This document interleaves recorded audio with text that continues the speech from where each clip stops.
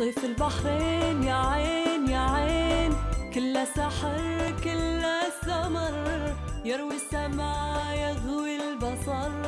يرقص على انغام الحجر.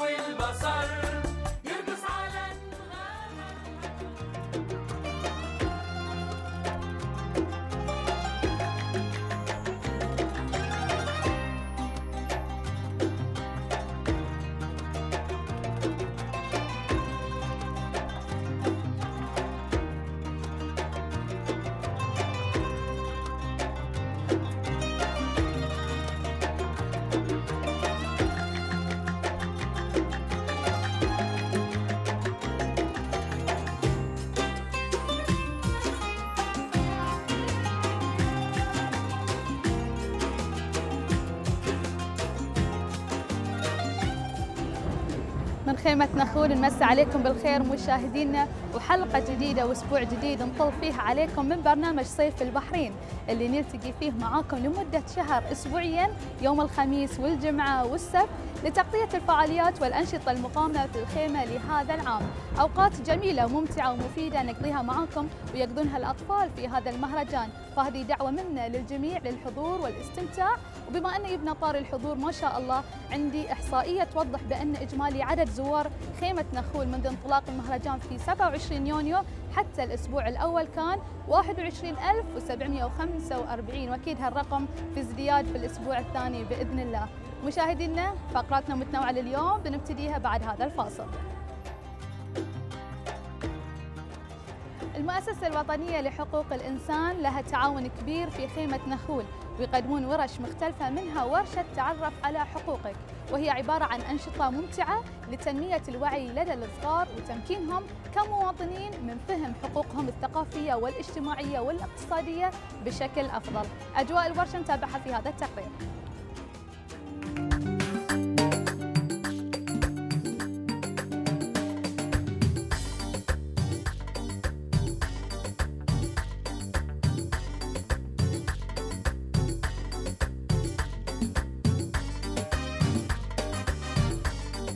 السيد نواف يوسف من ورشة تعرف على حقوقك. مرحبا فيك. يا أهلا وسهلا. أستاذ نواف اليوم ورشة تعرف على حقوقك. ما هي هذه الورشة ومن المشاركين فيها؟ آه، طبعا إحنا من المؤسسة الوطنية لحقوق الإنسان. آه، نشارك اليوم في مهرجان صيف البحرين على مدى ستة أيام. آه، نقدم ورشة عمل حول حقوق الطفل للأطفال اللي أعمارهم تتراوح من ثمان سنوات إلى 12 سنة. نعطيهم نبذة تعريفية عن حقوق الطفل ورش عمل وورش تدريبية وألعاب تعليمية تعلمهم وترسخ فيهم مفهوم حقوق الطفل لديهم. جميل جدا. اليوم أستاذ نواف طبعا بما أنك مدرب في هذه الورشة. أنا كولي أمر أو كي أي ولي أمر اليوم موجود معانا لما يدخل ابنه لهذه الورشة اللي موجودة في خيمة دخول بعد ما يطلع منها الطفل شنو يكون عنده من معلومات؟ يكون فكرة أساسية عن عمل المؤسسة الوطنية لحقوق الإنسان في مملكة البحرين. آه، أهم آه، أعمالها أهم آه، الأنشطة اللي تكون فيها المؤسسة ودورها في مملكة البحرين في تعزيز ونشر ثقافة حقوق الإنسان. بيكون الطفل فكرة أساسية عن حقوق الطفل. شكرا.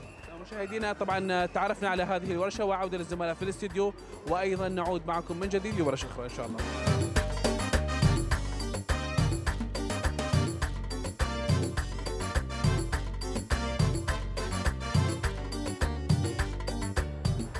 من بعد التقرير أكيد حابين ندردش أكثر حول مشاركة المؤسسة الوطنية لحقوق الإنسان في خيمة نخول لعام 2019 يسعدنا أن يكون معنا الأستاذة ماريا خوري رئيسة المؤسسة الوطنية لحقوق الإنسان. مساك الله بالخير ويا هلا مرحبا فيك. نور يا هلا ومرحبا يا هلا فيكم. مرحبا. أهلين. طبعا نورتينا اليوم وأكيد في بداية ال- الحديث نبي نتكلم عن مشاركتكم كمؤسسة في خيمة نخول لعام 2019 تسلمين عيني. طبعا إحنا هاي السنة الثانية اللي نشارك فيها في خيمة آه، نخول. وصراحة قبل ما أبتدي عن سبب مشاركتنا أصبح اسم خيمة نخول مثل ما يقولون براند يعني صار شعار معروف. من تقولين خيمة نخول الكل يعرف إنها مهيئة ثقافيا آه، للأطفال. طبعا المؤسسة الوطنية لحقوق الإنسان باحكام قانون إنشائها آه، يتطلب منها آه، من بعض ال- الواجبات التي عليها وفقا للقانون هو دور استراتيجي في تعزيز وحماية حقوق الإنسان. حلو.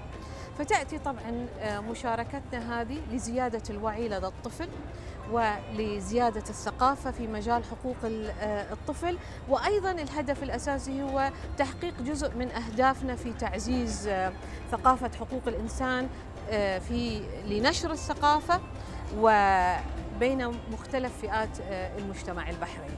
حلو طبعا يعني أنت تكلمتي بشكل عام عن أهداف آه، مشاركتكم في خيمه نخول، نبي نتكلم أكثر عن الورشة اللي قدمتوها واللي هي تعرف على حقوقك. أول شيء نبي نعرف آه، شنو الهدف منها والأي فئة عمرية كانت مستهدفة خاصة أن المتواجدين أو المشاركين هنا هم صغار، فنبي نعرف شنو الفئة اللي استهدفتوها. يا حليلهم أنا أشوفهم يركضون آه، في في الخيمة فالجو أيضا مهيئ لهم وهذا حق من حقوقهم هو حرية اللعب صحيح. طبعا والتعبير عن أنفسهم. الفئة المستهدفة من خلال الورش التي قدمناها هي من 9 إلى 12 سنة من من الجنسين. آه، طبعا عندنا أهداف نحن نتمنى أن نحققها من خلال استراتيجية آه، المؤسسة استراتيجية عمل المؤسسة ال- اللي نحن قارينها إلى عام 2021 آه، الورش اللي قدمناها ثنتين. واحدة الأولى هي التأثير البيئي على حقوق الإنسان وهذا جزء مهم. الدنيا كلها متجهة نحو حقوق البيئة صحيح. وحماية البيئة وهي إحدى المتطلبات الأساسية لحقوق الإنسان. يمكن سمعتوا مؤخرا أن سيصدر قرار أو صدر قرار لمنع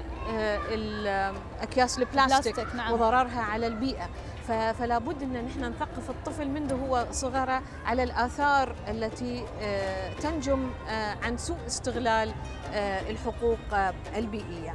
وطبعا البيئة مرتبطة بالصحة وبكرامة الإنسان فنحن نركز على ذلك. الورشة الثانية اللي راح نسويها اللي هي المساواة وعدم التمييز. حلو. لازم الطفل يدرك إنه هو نحن لا يوجد تمييز لونه بين اللون ولا الجنس ولا العرق ولا الدين ولا الطائفة وأهم من ذلك يمكن إن إحنا نشوف إن الأطفال ساعات يشوفون طفل يمكن على عينه آه، ضمادة مم. إنه لأن عنده يمكن عيب خلقي أو عنده مرض لا يوجد يعني نعلمه أنه لا يوجد تمييز بين طفل صاحي وطفل يمكن يعاني آه، من مشكلة. جميل. فهذه الورش اللي نحن آه، يعني سويناها حلو. طبعا أهدافكم جدا سامية. وجميل إن اليوم نثقف أطفالنا اللي هم بيكونون باكر شباب هذه الديرة يتعلمون الثقافة بشكل عام، يمكن تثقيف ال- ال- الطفل عن يعني ال- الحقوق ممكن يكون بعيد عن حياة الطفل العامه بشكل عام. هو يحب اللعب المرح يتعلمون أشياء تكون بسيطة، لكن الحقوق بشكل عام ممكن تكون مفهوم يعني صعب عليهم شوي، إي، إي نعم. فنبي نعرف إيش كثر مهم اليوم إن إحنا نثقف هاي الأطفال بشكل عام عن الحقوق والواجبات الخاصة وخاصة انهم في هذا السن يمكن تكون مداركهم مفتوحة أكثر علشان يتقبلون ويفهمون مثل هذا الحقوق. طبعا نحن نؤمن في المؤسسة الوطنية لحقوق الإنسان والراعي الأول لحقوق الإنسان في البحرين هو جلالة الملك الله يحفظه. أكيد طبعا. آه، فنحن نؤمن آه، في المؤسسة الوطنية لحقوق الإنسان أن مسألة الحقوق هي من الثوابت الوطنية. لا يوجد عليها أي يعني آه، خلاف. وأن الإقرار بهذه الحقوق إيه، سواء كانت حريات مدنية أو سياسية أو ثقافية أو اجتماعية أو اقتصادية حق أصيل لكل من ينتمي إلى البحرين وأيضا مقيم في البحرين. صحيح. فأنت ذكرتي إنه يعني يمكن صعب تثقيف الطفل في موضوع نحن في ناس تاخذ بكالوريوس وماجستير في ذلك الأمور. طبعا إحنا نستمد أساس عملنا لما يأتي للطفل من اتفاقية الطفل اللي منضمة إليها البحرين اللي طبعا والصكين الدوليين اللي هم الحق الم- المدني والسياسي والاجتماعي والاقتصادي والثقافي. أريد ما أدري أي شنو هي كاميرتي؟ هذه كاميرتي؟ أنتجنا نحن آه، كتيب. حلو. بلغة الأطفال آه، كلها رسومات. توضح مثلا هنا يقول لك لا للتمييز. آه، عندنا شيء ثاني يقول لك التنقل والسفر الزواج وتكوين الأسرة حرية الدين والمعتقد. ومن خلال عمل الكشك اللي نحن موجود عندنا في المؤسسة الوطنية لحقوق الإنسان آه، سوينا ألعاب خفيفة تثقف الطفل. أنا صراحة الحين لما رحت عندهم قلت لهم صاحب الفكرة جدا جميل. لعبة السلم والثعبان آه، كلها معروفة لا؟ معروفة إحنا نعرفها قبل لكن معروفة. لكن بشكل آخر. راح على الثعبان آه، يقول عنف. في يعني فهذا حق من حقوق الطفل إنه هو لازم نحميه من العنف. لما يجي مثلا صحة يركب فوق إنه عنده حق يعني في الصحة. من الأشياء الثانية اللي علمناه إياها مثلا هذه كاميرتي. نعم. آه، إعادة التدوير حلو. إذا ال- البيئة. شيء ثالث الحق في الصحة. إن حقه في أن يأكل وجبات متكاملة ال- الغذاء. آه، هني عندك مثلا حقه في اللعب. عدم التمييز لأن في أطفال مثلا في كراسي متحركة. البنات والأولاد يلعبون كرة قدم. لا يوجد تمييز هنا. فيعني حاولنا أن نستخدم لغة الطفل في تثقيفه عن حقوقه. وإن شاء الله نكون آه، يعني نجحنا يعني. وأعتقد سؤالك القادم بيجاوب على هذا السؤال. إن شاء الله. يعني أنا يعني من أنا ما شفت الورشة حقيقة بشكل مباشر لكن من خلال اللي التمسته منك الحين جدا جميلة فكرة إن أنتم تخاطبون الطفل بلغة الطفل نفسه. نعم. حتى الصور وال وال وال الكتالوج اللي يعني عرضتي البروشور اللي عرضتي من خلاله ال- الحقوق والواجبات اللي لازم تكون على الطفل كانت بألوان جدا جميلة. وهذه يعني يحفز الطفل عشان يقرأ ويتعلم أكثر طبعا. نعم. يعني أنا بتكلم الحين شلون شافيتي انت تفاعل آه، الأطفال معاكم؟ خاصه ان أنتم قاعدين تلعبونهم ألعاب مسلية وفي نفس الوقت أنتم قاعدين تعلمونهم وتغرسون فيهم بعض القيم. فكلمينا شلون شفتي نعم. تفاعلهم إيه، وقفت عند ال- الستاند للمؤسسة الوطنية لحقوق الإنسان وشفت بعض الأطفال اللي داخلين وطالعين وتكلمت مع بعض أولياء الأمور. إيه، أتكلم أول شيء قبل ما أجاوبك عن السنة. السنة الماضية الفريق العامل من المؤسسة من الأمانة العامة اللي يبذل جهد كبير. جاء قال لي أستاذة مريم إن تفاجأنا وانبهرنا وسعدنا من درجة معرفة الأطفال بحقوقهم. حلو. هذا شيء جيد. معنى ذلك شنو؟ إن البرامج التربوية اللي قاعد تعطى في التربية والتعليم وفي المدارس برنامج آه، آه، مواطنة إنه قاعد يؤدي أيضا دورة في ذلك الموضوع. لكن إذا أتكلم عن هاي السنة وجدنا ردود فعل أيضا أطيب من ذلك. إن صاروا أعطونا تحدي إن نحن نريد ألعاب أكثر تثقف أطفالنا. آه، نريد فعاليات أكثر طوال السنة إن تثقف أطفالنا عن حقوقهم. أيضا نريد فعاليات مبسطة تناقش الطفل في حقوقه. يعني فوصل الإدراك مرحلة مميزة أصبحت عندنا نحن تحدي لازم نطور من عملنا واستراتيجياتنا من أجل حلو. بما ان انت تكلمت عن الاستراتيجية نعم. آه أنا من خلال آه، حديثك معي عرفت إن أنتم قمتوا ببعض الألعاب مع الأطفال لأن ممكن الطفل بطبيعته ما يحب دائما إنه هو يستمع أو ينصت يحب الأشياء اليدوية اللي ممكن يتعلم من خلالها نعم. نبي نتكلم أكثر عن الطرق اللي اتبعتوها من خلال ورشكم على أساس إن أنتم توصلون رسالتكم بشكل جدا سلس على الطفل نعم على سبيل الذكر يعني آه، وليس ال- الحصر. آه، سوينا لعبة أطفال مكعبات يمكن من خلالها يتعرف على آه، يعني حقوقه. هاي للأطفال اللي مثلا تسع سنوات. حلو. عندنا الرسم مثلا. ان نطلب منه يرسم حق من الحقوق فهو يتفاعل يعني معنا آه، المثال على آخر هو استخدام لعبة الليجو التي هي الآن منشهره يعني الأطفال كلهم. يحبونها. إيه؟ كل كلهم يلعبون آه، ليجو. إن نقول له في الليجو سوي لي حق من الحقوق. حلو. فمنهم سووا سيارة الحق في التنقل. جميل. منهم أخذوا آه، الشيبس مال الأولاد إنهم يلعبون يعني مع بعض. فنرجع لنفس المقال إن نحن استخدمنا لغة الطفل في التخاطب وفي ال- ال- التواصل لإيصال آه، معلومة آه، قيمة لا عن حقوقه حلو جميل جدا إن أنتم تتبعون طرق تكون مميزة علشان الطفل خاصة نعم. ان اليوم الطفل يحب الحركة نعم. دائما يحب نعم. إنه هو يلتمس بعض الأشياء نعم. يعني مشاركتكم ما تقتصر على ورشة آه، تعرف على حقوق ذكرت من شوي إن عندكم بعد ورش أخرى نبي نتكلم عن ال- ال- الفئة العمرية أيضا قلتي لي من 9 إلى 15 من 9 سنة. إلى 12 إي نعم من 9 إلى 12 نعم سنه نعم. نبي نعم. نتكلم يعني تعاملكم أنتم مع هؤلاء الأطفال. ذكرتي انهم تكون على أساس ألعاب وش- هل التمستوا إن الفكرة أو الرسالة اللي أنتم تبونها وصلت لهم بالشكل الصحيح اللي أنتم كنتوا تبتغونه؟ طبعا نحن لابد من تقييم التجربة في نهاية يعني الخيمة، لكن أنا أعتقد إن من خلال في الثلاثة أيام الأولى كان عندنا ورشة يعني آه، اللي هي ألعاب حول حقوق الطفل حلو. اللي قدمنا عن طريقها أنشطة ومهارات آه، حول أهم حقوق الطفل اللي كلها منبثقة من اتفاقية آه، حقوق الطفل. الثلاثة أيام القادمة أعتقد نحن من 10 إلى 13 م- الخيمة إلى نهاية إلى نهاية آه، إيه يوليو بس نحن من 10 إلى أفتكر 16 أو 17 يعني آه، مشاركتنا. الورشة الثانية بتكون لنحمي بيئتنا وهي حديث الساعة بالنسبة لجميع الأفراد يعني الآن يعني نعم. في البحرين. بنقدم أنشطة ترفيهية تتعلق بالبيئة لنرفع الوعي بأهمية حماية آه، البيئة حماية شواطئنا حماية يعني إعادة تدوير النفايات. طبعا لابد من وجود بيئة سليمة هادفة لينعم الجميع بالصحة. فنريد آه، أيضا وهي إحدى المتطلبات الرئيسية في حقوق الإنسان فركزنا على ذلك آه، أيضا. حلو. طبعا تكلمنا عن مشاركتكم في خيمه نخول وأنتم دائما حريصين إن أنتم تكونوا متواجدين في هذا المكان. شنو إنعكاسات هذه المشاركة عليكم كمؤسسه طبعا آه، هذه الفعالية وغيرها من الفعاليات اللي نحن نعملها على مدار السنة آه، تأتي من إيماننا القاطع بضرورة الشراكة المجتمعية.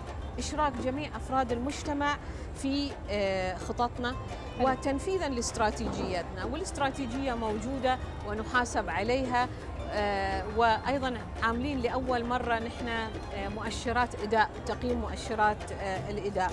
فنحن لسنا معنيين بالطفل فقط هذه فقط فعالية معنية بالطفل فنتكلم عنها.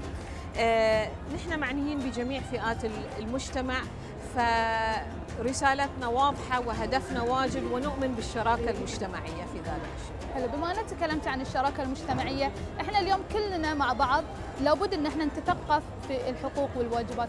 لكن في فئة مثلا يقولون ليش اليوم الطفل شنو أهمية إن الطفل اليوم يكون مثقف من ناحية حقوقه وواجباته وهو في سن صغير؟ يقولون يعني لما يكبر شوي ممكن إنه هو يتعلم. شنو انعكاس اليوم تثقيف الطفل من هذه العمر من هذه يعني الفترة الفئة العمرية على المجتمع بشكل عام. أنا أعتقد المثل اللي كانوا يعلمونا إياه نحن وصغار العلم في الصغر كالنقش في. الصخر صح في الصخر ولا في الحجر. أنا أعتقد مع المتغيرات الدولية والعالمية اللي يشهدها كل العالم لابد من تثقيف الطفل مبكرا. جميل. إنه يكون واعي صحيح. بمواطنته. بحقوقه بواجباته هذه كلها ستنعكس. من يربي يربي النفس. نحن إذا ربينا جيلنا على محبته أولا لبيئته ولصحته ولنفسه ولوطنه في صغره سينعكس ذلك لا شك في المستقبل على اهتمامه بالسلام واهتمامه بجميع مقومات نجاحه شخصيا وتقدم وطنه أكيد وإحنا كلنا نلاحظ إن الطفل اليوم أصلا مثقف من ناحية آه، مستعمل للتكنولوجيا ومطلع على كل الأشياء. ففهمه اليوم يكون حتى أكثر لمثل هذه الأمور. آه، في النهاية أكيد أبي أتكلم وياك عن هذا المكان. اليوم إحنا آه، متواجدين في خيمة نخول رايك فيه وبتنظيم هذه السنة. طبعا شهادتي في المكان مجروحة. هذا معلم من معالم البحرين الأثرية التراثية الحضارية الثقافية اللي يعكس حضارتنا. آه، آه، أعتقد اختيار موفق لهيئة الثقافة والآثار إن علشان الطفل أيضا يعرف إن حق من حقوقه هو حق الثقافة وإنه يعرف تاريخ بلده ووطنه. آه، بالقرب من قلعة أحمد الفاتح أو في قلب قلعة أحمد الفاتح إنعكاس جميل جدا. آه، والحال نحن ونتكلم أشوف هالأطفال اللي هم جايين يعني يشوفون آه، هذا المكان ليس للألعاب فقط لكن ليروا حضارة آه، يعني. وطنهم. آه، جهد مشكور لمعالي الشيخة مي لسعادة الشيخة هلا في التنظيم وفي اختيار المكان وأيضا لجعل المؤسسة جزء لا يتجزأ من آه، يعني آه، برامج الثقافة لاهتمامهم أيضا بأهمية ثقافة حقوق الإنسان. وتأتي مناسبة جميلة جدا لاختيار هذا المكان لأن البحرين تلال دلمون قبل أيام. سعدنا كثيرا بوضعها على يعني في اليونسكو من المدن آه، يعني على لائحة الأماكن التاريخية الموثقة التي تعتز فيها البحرين وهذا يعكس أيضا إن البحرين دائما ستكون موجودة مع الحضارات العالمية سواء كانت ثقافيا ولا اقتصاديا ولا حقوقيا ولا انسانيا ولا سياسيا ولا مدنيا. البحرين دائما في المراتب الأولى الحمد لله. كل فضل المجالات. كل أطفالها الذين سيشبون على معرفة حقوقهم وواجباتهم. أكيد طبعا. الأستاذة ماريا خوري رئيسة المؤسسة الوطنية لحقوق الإنسان. كل الشكر لتواجدك معنا لليوم. استفدنا من وجودك طبعا ونورتينا. الله يخليك. يعطيك العافية. فاصل سريع من بعده راح نكون مع تقرير عن أحد العروض المميزة في خيمة نخول فخلكم معنا.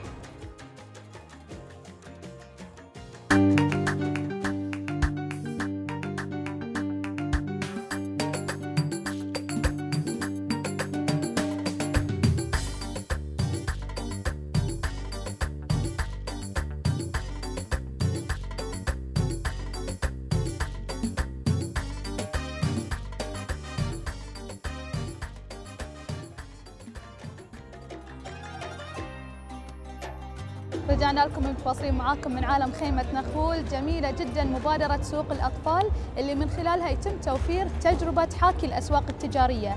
يتعلمون من خلالها الأطفال من عمر 7 إلى 15 سنة بشكل عملي فنون البيع والشراء والتسويق لمشغولاتهم اليدوية وغيرها من المعروضات والسلع المتنوعة. سوق الأطفال في تقريرنا التالي.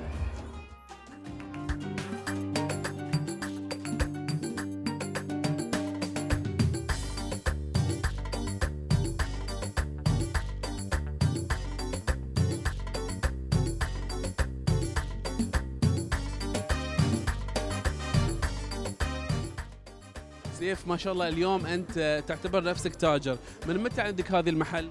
من ثلاث سنوات أشارك في جميع المعارض جميل جدا. وشنو تبيع داخل هني؟ أبيع ألعاب للكبار والصغار. في ناس يجون يشجعون حتى لو الإنسان مو خاطر يشتري يشتري. وبعد أيضا أستفيد من إني تاجر وإن شاء الله لما أكبر أكون تاجر كبير.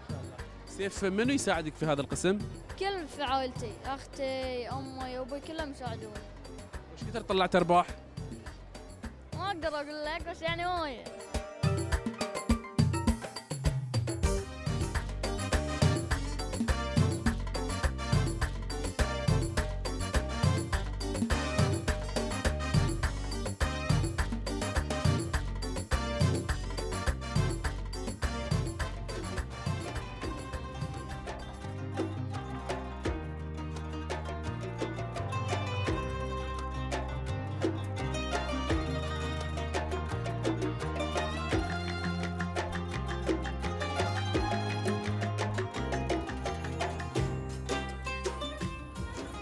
طبعا مشاهدينا مثل ما ذكرت في مقدمة التقرير اللي شاهدناه من سوق ال- الأطفال طبعا جدا جميلة هذه المبادرة أنهم يشجعون الأطفال على أنهم يعرفون أصول البيع والشراء وال- والطفل اللي شاهدناه في التقرير. طبعا أنا كنت متواجدة في آه، السنوات الفائتة وكان متواجد. وليه اليوم هو متواصل. وهذه لفتة جدا جميلة أنهم يعلمونهم من صغرهم شلون ممكن يبيعون ويشترون وممكن شلون يستغلون مهاراتهم في تكوين وصنع الأشياء اللي ممكن يبيعونها. ومن أجواء الاستديو إلى أجواء الخيمة المفعمة بالنشاط مع زميلنا علي الحداد.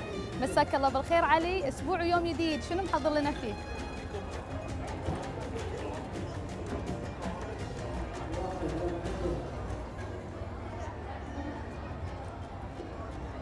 اليوم إحنا في ورشة آه، محميه بيئتنا المحمية مع المجلس الأعلى للبيئة ومعنا مدربة هذه الورشة. نتعرف عليك؟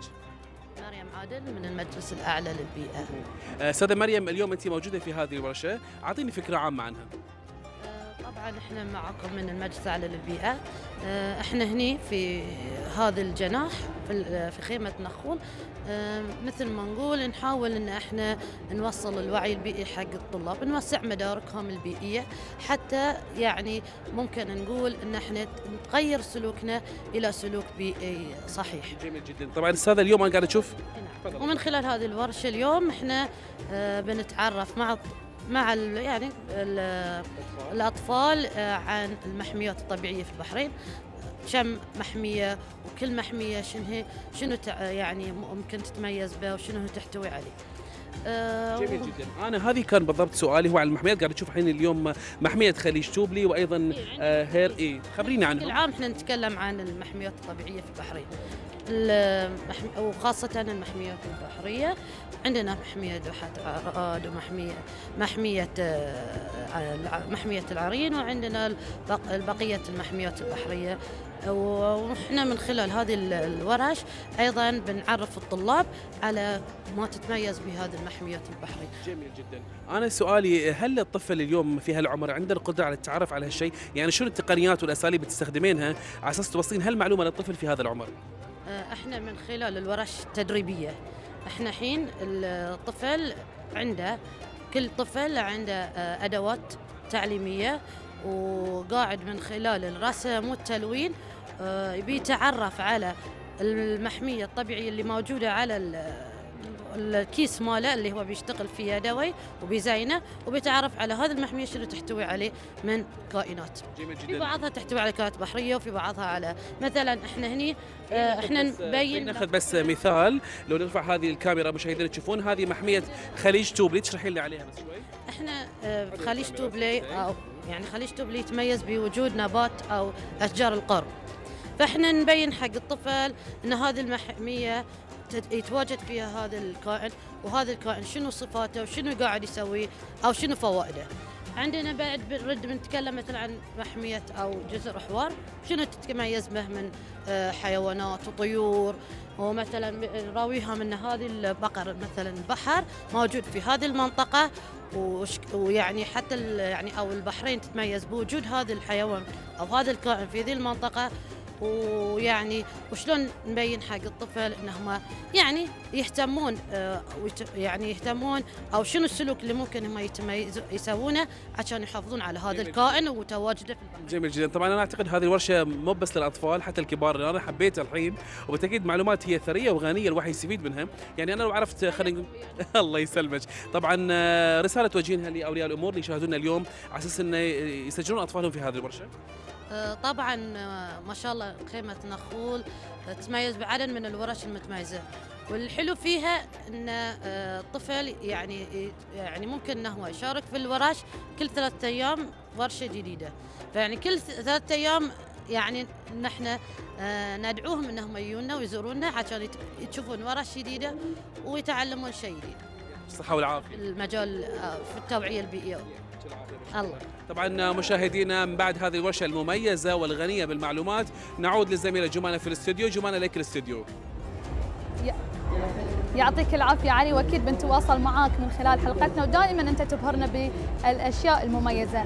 مشاهدينا منذ انطلاق مهرجان صيف البحرين في خيمة نخول شهد مشاركات من الفائزين بمسابقة نجم نخول في الأعوام الماضية. منهم مشاركة الطفلة سارة محمد بفقرة غنائية وهي الفائزة بالمسابقة عام 2018 وكذلك الموهوب تركي نواف اللي قدم عزف موسيقي مباشر على الدرامز. طبعا إحنا الأسبوع الماضي نوهنا عن هذه المسابقة مسابقة نجم نخول. وبنتعرف على تفاصيلها أكثر بعد ما نتابع معاكم هذه المقتطفات.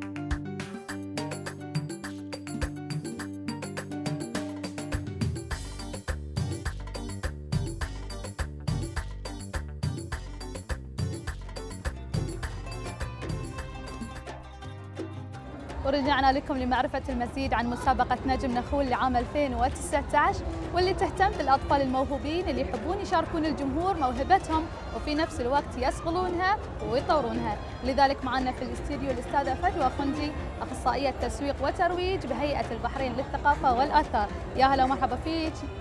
أهلا وسهلا. مساك الله بالخير. الله يسلمك ويعافيك طبعا في البداية نبي نتكلم عن آه، مسابقه نجم نخول هذه المسابقة اللي الكل قاعد يتكلم عنها. نبي نتكلم عن تفاصيل أكثر عارفين عنها. نجم نخول الحين هاي في نسختها السادسه بديناها في 2014 آم، نجم نخول برنامج وايد مميز. نكتشف فيها المواهب آه، نكتشف فيها مهارات. اطفالنا عندنا إياهم. وإحنا يمكن ما ندري إحنا أولياء أمور مشغولين في وايد أمور ما ندري فيها. بس هاي المكان هو the perfect أو المكان المثالي اللي إحنا اللي نعرف فيه شنو شاطر فيه ولدنا شنو شاطر فيه طفلنا. الحلو إن أنتم تكتشفون مواهب الأطفال الموجودين. نبي نبي نتكلم عن الفئة العمرية. هل أنتم حصرتوا فئة عمرية معينة حق اللي بيشاركون؟ وفي نفس الوقت هل كل المواهب ممكن تكون متواجدة ولا هناك فئات للمواهب أيضا؟ إحنا الفئات العمرية نتحكي من 5 إلى 15 سنة. وهاي سن الأطفال اللي عندنا. والمجال مفتوح حق كل من؟ مفتوح حق الكل. كذا أي نوع من المواهب اللي عنده. من خفة يد من عروض استعراضية اللي تحتها تكون التمثيل إلغاء الشعر عندك الغناء الرقص مسابقات ذهنية. اللي بوصلها للجمانة إن هي مفتوحة حق كل من وإحنا نستقبل ونبي نعرفهم. هذا اللي يميزكم طبعا إن أنتم ما خليتوا في حدود حق المسابقة. صح. الطفل اللي يكون عنده موهبة معينة وحاب إنه هو يظهرها يكون متواجد معاكم في هذه المسابقة. أكيد من خلال وجودكم في الأعوام الماضية أنت ذكرتي إن خمسة أعوام آه، أقمتوا فيها هذه المسابقة. أكيد التقيتي في بعض المواهب اللي تكون مميزة وما شاء الله البحرين خلاقة دائما وفيها الكثير من المواهب إن كان للاطفال أو حتى الكبار. فنبي نتكلم عن بعض هذه المواهب اللي شفتيها ممكن تكون لفتت نظرك. آه، جمانة عندنا مواد مواهب كل سنة إحنا نكتشفها. واللي يتم اختيارهم من الحكام ومن الجمهور ناس وايد مميزين أطفال وايد مميزين. ودي أذكر لكم أسامي الفائزين اللي عندنا خلال الست سنوات الخمس سنوات اللي طافت عندنا فايز وايد مميز اسمه تركي نواف. وهو عازف طبل حلو. شطور ما شاء الله عليه. آه، في 2016 عندنا الفنانة الصغيرة ريحانة مغنية مبدعة.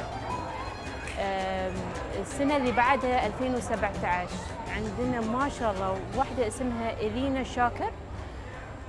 صوتها ملفت للنظر أوبرا. ما شاء الله. ما شاء الله. وايد شيء حلو. تستغربين وينكم تو؟ قاعد يطلعون لنا هني. آه العام كان استغفر الله أول العام كان عندنا بعد طاهر آه، رواس. فنان استعراضي. الدبكة. حلو. وايد حلو. العام كانت عندنا مغنية وايد مميزة اسمها سارة. سارة. سارة. شنو السؤال الثاني؟ سارة الحين شنو السؤال الثاني كان؟ لا كنا بنتكلم عن ال- ال- المواهب. وشلون شفتوها؟ أنت تكلمتي عن بعض المواهب اللي لقيتيها مميزة طبعا. والحلو في مسابقتكم مثل ما ذكرت إن أنتم شفنا تنوع. أنت قلتي فن موسيقي فن التمثيل أيضا في دبكة. يعني حلو هذا التنوع اللي نلاقيه في الطفل اليوم. صح.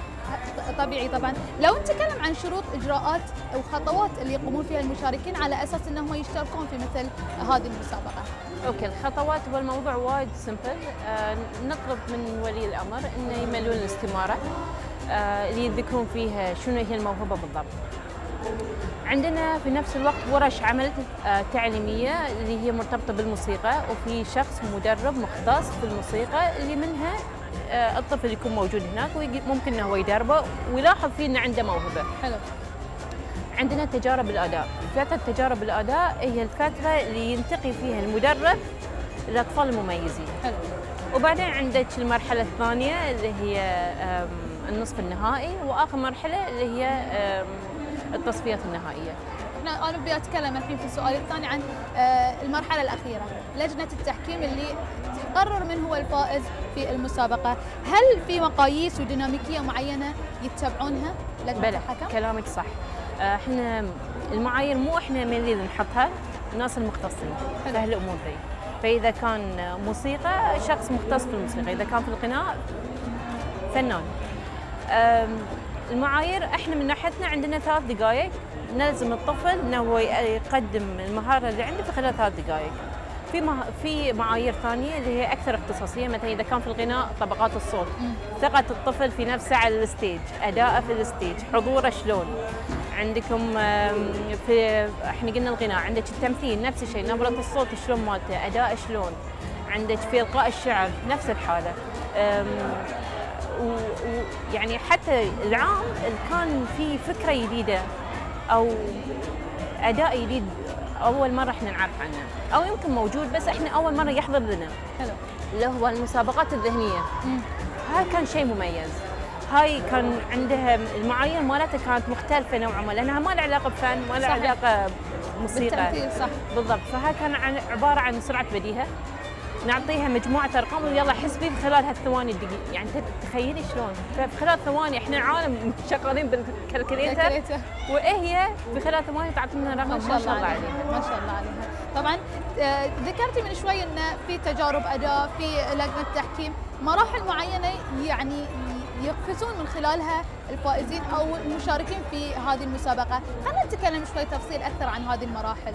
هاي المراحل انزين إحنا مثل ما خبرتك عندنا استمارة طلب وبعدين عندنا تجارب اداء حلو. وبعدين عندنا تصفيات آه، أو النصف النهائي مسامحة وبعدين يطلع منهم النخبة المؤهلين وبعدين يروحون إلى التصفيات النهائية اللي يطلع منها ثلاثة. حلو.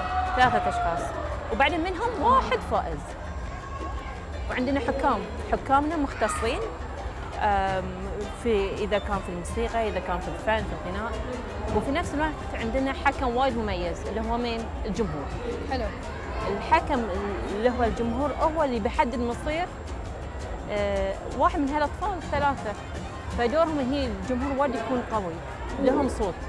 جميل جدا إن أنتم اشركتوا حتى الجمهور في هذه المسابقة، المسابقة مميزة وأنتم بعد أضفتوا لها تميز أكثر، نبي نتكلم عن تميز آه، هذه المسابقة هذه السنة، هل اختلف فيها شيء عن السنوات الماضية؟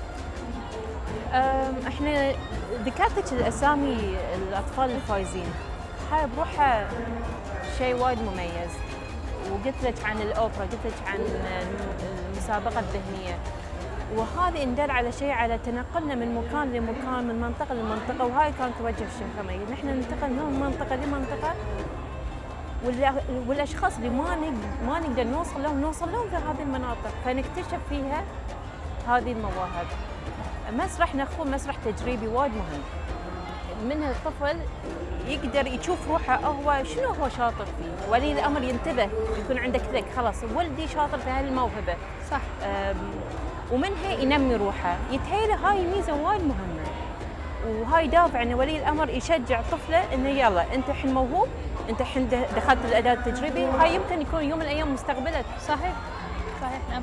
يعني آه نبي نتكلم شوي عن التواصل ما بينكم أنتم كاشخاص مسؤولين عن هذه المسابقة مع المشاركين، يمكن اليوم أنتم ذكرتي بعض الأسماء اللي فازوا في السنوات السابقة، هل تتواصلون معاهم حتى ما بعد آه، انتهاء خيمة نخول؟ هل في تواصل معاهم؟ آه، تحاولون إن أنتم تطورون منهم أو إن أنتم تقدمونهم في مسارح أو معارض معينة؟ كلامك صح الفائز مثلا مال العام هاي أبسط مثال أه، كان هو موجود في حفل الختام وهالسنة في حفل الافتتاح حلو ودار مدار أو طول السنة هيئه الثقافة عندها فعاليات وايد كثيرة فندخل الطفل الموهوب اللي فاز عندنا في هاي الفعاليات بالإضافة هم من ناحية واحدة، من الناحيه الثانية عندنا قائمة الأسماء، إن كانوا فايزين أو ما كانوا فايزين، المهم عنده المهارة، عنده ال skills. نقدم لائحة الأسماء حق معهد البحرين للموسيقى، إحنا علاقتنا وايد وطيدة مع معهد البحرين للموسيقى. فيتهيأ لي هاي المكان الصح عشان إنه ي- ينمون الموهبة اللي فيهم. حلو وايد حبيت هذه النقطة إن عندكم أرقام التواصل تتواصلون معاهم وتوجهونهم إلى الوجهة اللي ممكن هي تطورهم. وايد مهم اليوم إن إحنا آه، نبني هذه الثقة عند الأطفال ونخليهم ينمون ويصقلون هذه الموهبة، يعني آه، استاذة فدوى قبل ما ننهي لقائنا معك اليوم أبي تتكلمين أو توجهين كلمة إلى المشاهدين أولياء الأمور بشكل عام اللي لحد الآن يمكن ما يعرفون حتى شنو طفلهم موهوب فيه، آه، وجهي لهم كلمة دعوة لهم لاكتشاف مواهب أطفالهم وإشراكهم في المسابقات خيمة نخول أنا أشوفها بحكم أنا ولية أمر. هو المكان الصحيح حق الطفل إنه يشوف وين موهبته. لا نصقر المواهب. ترى في كل طفل في عنده ميزة إحنا يمكن ما ندري عنها. يمكن بحكم إحنا مشغولين بروتيننا. اليومي ما ندري. فهاي احسن مكان إحنا نكتشف فيها المواهب مجرد ما نكتشف الموهبة وهني عندنا المساحة اللي نقدر نعطي الطفل السبيس ماله عشان يعبر اللي فيه. لا تبخلون إن أنتم تقدمون استمارة طلب إن عندكم ولد موهوب. وما تدرون هذه يمكن بداية شيء وايد عود. بداية انطلاقة. بداية انطلاقة. هاي المستقبل هاي ممكن تكون أو هي مهنته. فأنا أطلب من كل ولي أمر إن اليوم وعندكم لتاريخ 15 7 صح. تملون استماره اللي فيها تدشون فيها نجم نخول وخلي الموهبة مفتوحة لا تقولون بس غناء بس موسيقى. إحنا يعني إحنا فاتحين هالموضوع حق كل أنواع المهارات. حلو. إن شاء الله تكون دعوتك وصلت للجمهور أولياء الأمور الاستاذ فدوى كنت اخصائيه تسويق وترويج بهيئة البحرين للثقافة والآثار. يعطيك ألف عافية ونتمنى لكم إن شاء الله كل التوفيق في هذه المسابقة. شكرا ما قصرت. يعطيك العافية. مشاهدينا من بعد هذا اللقاء ننتقل معاكم إلى فاصل وراجعين من بعد نواصل حلقتنا معاكم.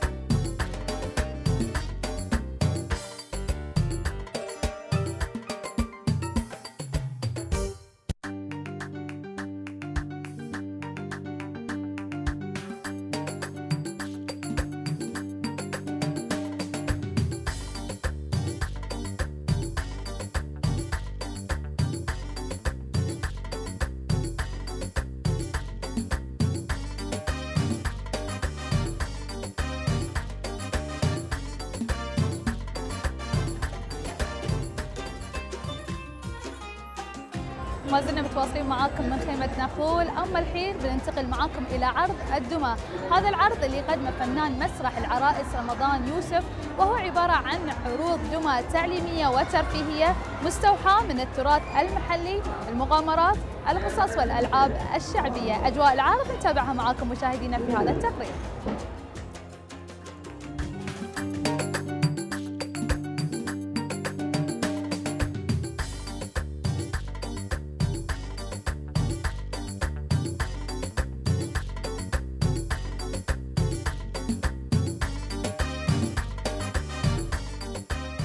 اخت نورة طبعا اليوم شفنا هذا المسرح الأكثر من رائع في تفاعل جدا ما بين الاطفال وما بينكم. خبريني عن المسرح وشنو الهدف من وجود المسرح اليوم في آه، مهرجان صيف البحرين؟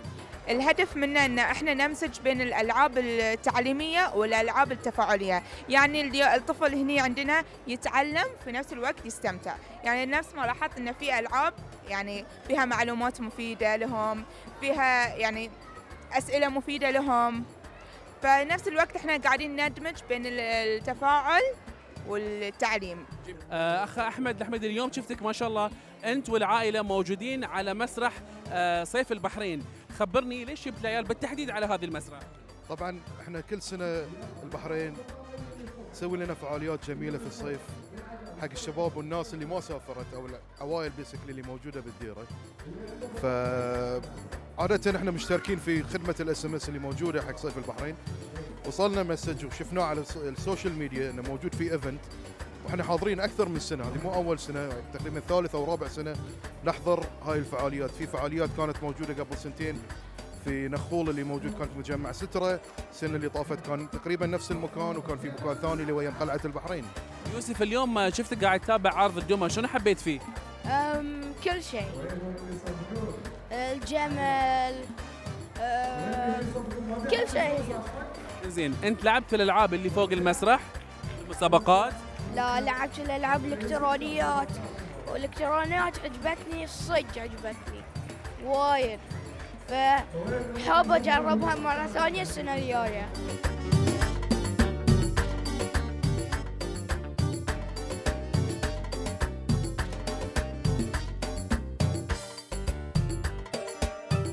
كان هذا عرض الدمى لمهرجان سيف البحرين الذي استمتع به الصغار والكبار وأنا أيضا.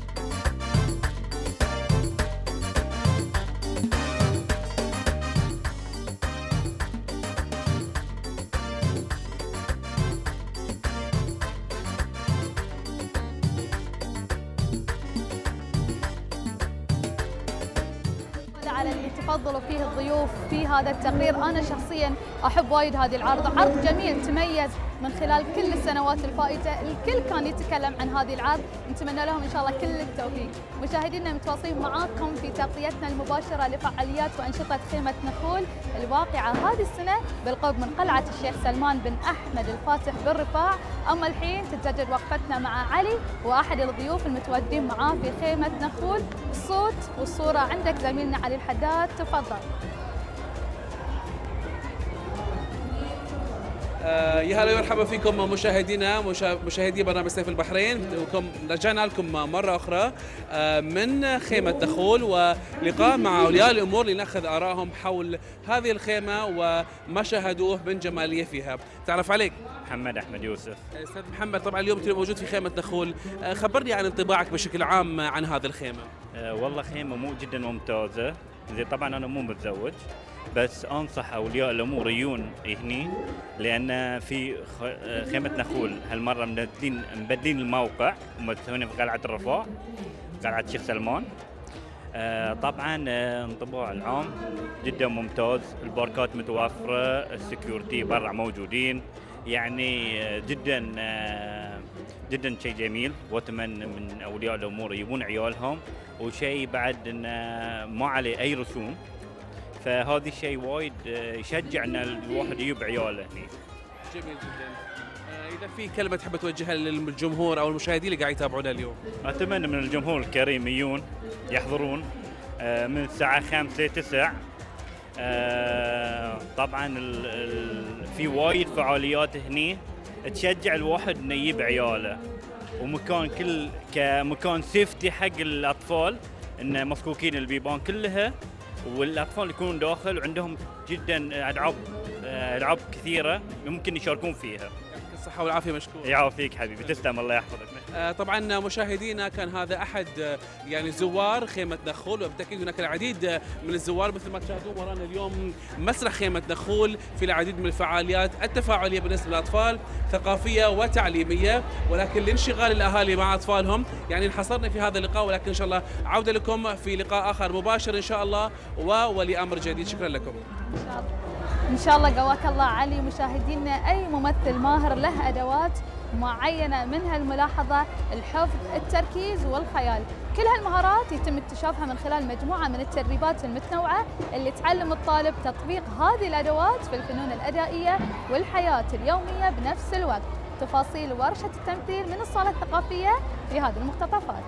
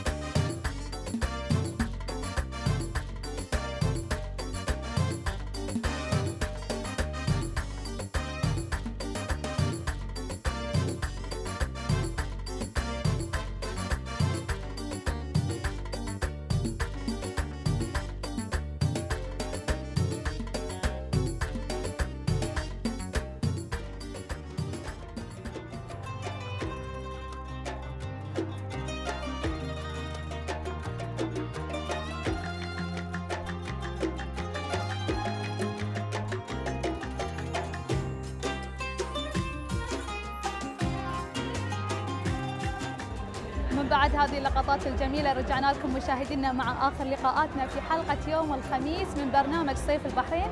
وقبل ما ندخل في تفاصيل اللقاء نذكر المشاهدين بأن الخيمة مفتوحة من الساعة 5 حتى التاسعة مساء لكل الزوار اللي حابين يستمتعون بوقتهم. وكالعادة مشاهدينا الفن ياخذنا لمكان بعيد ونتوه في جماله وتكنيكاته المختلفة. فلا بد من خلال لقاءاتنا نسلط الضوء على الفن التشكيلي بأي نوع من أنواعه. واليوم لنا لقاء مع الفنان جاسم المقابي واللي راح يمتعنا بالحديث عن الفن المتخصص فيه وهو رسم البورتري أو الكاريكاتير. مساك الله بالخير. مساك بالخير. يا هلا ومرحبا فيك. الله يحفظك. طبعا في البداية نبي نتكلم عن حضورك ومشاركتك في خيمه نخول لهذه السنة هل هذه أول مشاركة أو أنت معتاد على هذه لا طال عمرك صار لي أكثر من أربع سنوات مع خيمة نخول متخصصين في فن الكاريكاتير. حلو. شلون نعلمهم شلون مبادئ الفن الكاريكاتير. شلون يكونوا شخصيات شلون يسووا قصص آه، هذا المنحى يعني حلو يعني طبعا الرسم هو المجال اللي يحبونه الصغار والكبار وخاصة الصغار دائما نشوفهم يرسمون ويلونون في. دفاترهم يعني إيش كثر سهل وفي نفس الوقت مهم إن الطفل من صغرته يتعلم الرسم علشان تاخذ يده مع الأيام هو الممارسة في في كل المجالات تصنع فنان أو تصنع هاوي إلى الشغلة اللي هو يحب يمارسها يعني. حلو يعني أستاذ جاسم إحنا نعرف إن الرسم والفن التشكيلي بشكل عام هو لغة عالمية ورسالة طبعا يرسلون من خلالها الفنانين رسائل متعددة في كافة المجالات. الطفل اليوم الطفل اللي تلتقي معاه أنت في خيمة نخول هل عنده وعي بأهمية هذا الرسم وانه هو أصلا رسالة ممكن إن إحنا نبعثها إلى الآخرين؟ هو في الأعوام السابقة كنا نسوي قصص وكان إقبال جدا جميل يعني حلو أنهم يسمعون قصة ويسمعون الشخصية اللي يحبونها من اشيائهم اليومية اللي يستخدمون من أدوات نخلي الأدوات يحاولون آه، أدواتهم ال- اليوم يستعملونها بشكل مستمر إلى أشياء كرتونية يحاكونها وتحاكيهم. فالحمد لله كان في يعني في بعض الوجوه طلعت يعني عندنا يعني أنت تحس إن اليوم الطفل عنده وعي بأن. الرسم مهم. جميل جدا. آه يمكن إحنا تكلمنا عن الرسالة وإن الفن رسالة. من خلال الفن اللي أنت تقدمه شنو الرسالة اللي حاب أنت تستهدفها وتوصلها إلى جمهور ومشاركين خيمة نخل شلون نصنع من شخص شكل كرتون؟ شلون يصير عنده فن تجريدي؟ يعني مو الفن الواقعي. آه، هم الحين الجم... الكل يعني والاطفال خاصة عندهم اطلاع واسع. صحيح. صعب ان تعطيهم شيء جامد. فلازم يعني تفتح خيالهم إلى إيه، أشياء أوسع. إيه، نعم. حلو. من خلال ورشتك آه، رسم البورتريه أو الكاريكاتير هل آه، من خلال هذه الورشة أنت تعلم الطفل شلون يرسم أو ان أنت تخليه هو بحريته يرسم؟ بدايات نعطيهم. شلون آه، العيون شلون أشكال شلون يعني أكثر من شكل لأجسام ال- لأشكال الجسم. فبعدين وش تحب مثلا وش ندخل الأشياء اللي عندها علاقة وياه من أدوات أو شيء شلون يحاول يحاورها نخليه يعني شنو يصنع قصة منها. حلو. شنو هي الأدوات اللي تستخدمونها عادة في الرسم؟ يعني تعطي الأطفال ألوان أو مجرد قلم بنسل. لا إحنا حاليا بس مختصين على الأقلام. في ألوان بعد بس كتشخيص أو ك بشكل مبدئي؟ قواعد بالقلم حالي حلو. يعني أنا اللي عرفته إنه من خلال ورشتك انه عقب ما يخلصون الورشة آه، آه، تعطيهم آه، صورة لهم أو رسمة أي نعم. مصغره لهم. شلون تشوف ردود أفعال الأطفال؟ وخاصه إنهم يحبون هذه الأشياء. واجد يعني يقول أنا يعني يستانس بشكله إنه يشوف شكله بال باللي هو يشوفه بالتلفزيون يعني من الكومنتات ماله حلو انت إحنا تكلمنا عن ردود أفعال الأطفال لما يستلمون رسمه. حابين نشوف إحنا شيء سريع ممكن ترسم لنا إياه على الهواء. ممكن تقول لي عن شنو بت... شنو بترسم وفي نفس الوقت. برسم. ش- انت. أنا سريع سريع, سريع إن شاء الله. إن شاء الله.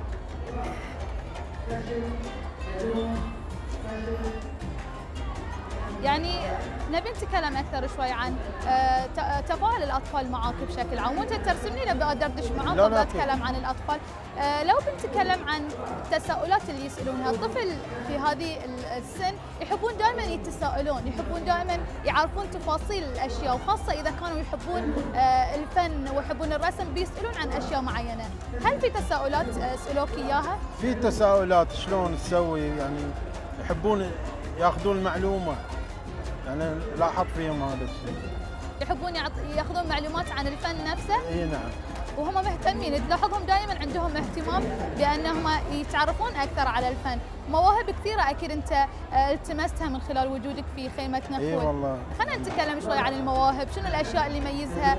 آه، الصغار البحرين اليوم شنو موهوبين؟